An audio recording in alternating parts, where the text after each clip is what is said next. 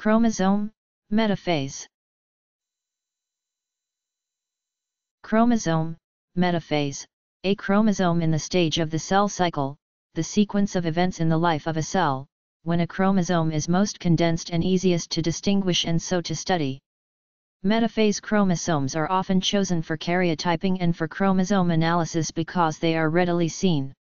However, chromosomes in metaphase can be so condensed and scrunched up that it is difficult to make out much in the way of detail. More distended chromosomes, in prometaphase or prophase, are therefore sometimes selected for study when fine details are important.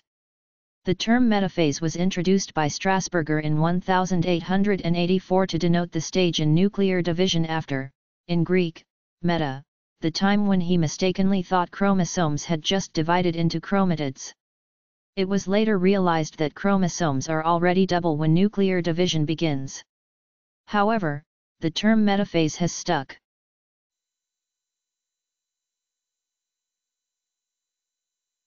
C H R O M O S O M E M E T A P H A S E Chromosome Metaphase